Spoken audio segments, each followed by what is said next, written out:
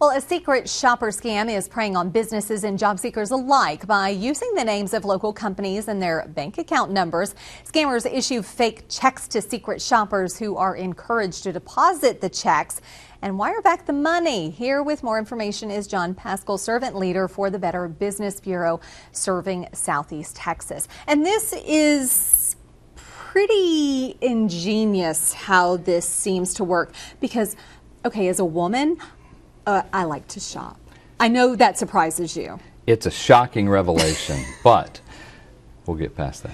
Yeah. It is a common thing that people look for. A lot of people are looking for work at home, ways yeah. to work at home. They get something in the mail that says we'd like you to be a secret shopper for Bells, Target, Walmart, you know, and these JC are reputable companies. Exactly. Now, to do this, here's your check to start off with. Send your receipts, do the shopping, send us a receipt, you'll get paid. Now, what's interesting and what the critical person will see is that the check is a check from a local business, but the name of the local business is one that they recognize, but completely unrelated to the company you're working for as the secret shopper. Hmm. So then you start thinking, why would the check come from a local business that I know? Well, if they don't look at that, the check, the check is either stolen or fraudulent, or it could be an actual check from that business that's been stolen and they've used their account numbers and the consumer recognizes, oh, I've, i know this business. They've been here for 40 years. This is a good check. Oh, no. And it's a stolen check. This happens a lot. It really does. But it adds legitimacy to the secret shopping for the consumer so they trust it even more. And then they go ahead, they cash the check, they wire back the money. It is a fraudulent check.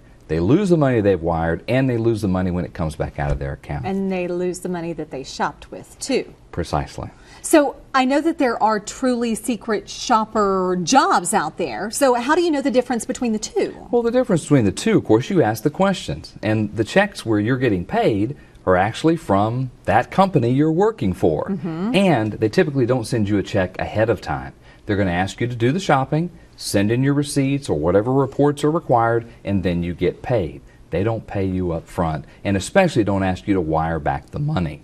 But there are some things that businesses can do to protect themselves as well, and that's to watch, uh, protect their checks. If they do use certain checks, if they have checks that are being mailed to them, they place an order for checks, make sure they get it in time, protect the checks, protect their account numbers, protect passwords, and you just want to be careful for things like this because uh, scammers can steal the checks, wash the checks, use the account numbers, and then by the time they find it, then they're out quite a bit of money. It's a very scary thing, not only for the person that wants to be a secret shopper, but also for the businesses. It really is, and they need to be careful about that. As you said, there are really secret shoppers and there are jobs such as that, but we have to ask questions, be careful, be critical, and if they're concerned about it, call the BBB because we can tell them if one's legitimate or not.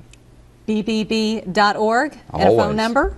835 5348. And you're not going to be there 24 7, but if they go to the website. Somebody will be. All right. Thanks, John. We appreciate it.